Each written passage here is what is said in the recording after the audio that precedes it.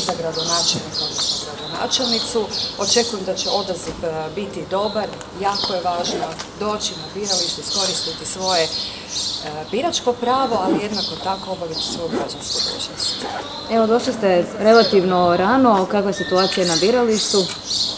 Prostite? Došli ste relativno rano, kakva je situacija na biralištu, jesu stigli glasači? Glasači već e, polako dolaze. Evo, mi smo danas ovdje na jednom mjestu gdje ima više biračkih odbora, tako da se nadam da ćemo svi imati strpljenja, da ćemo poštivati epidemiološke mjere, a svi oni e, koji žele glasati, koje naravno i pozivam da glasuju, uvjerena sam da će to moći napraviti bez ikakvih problema.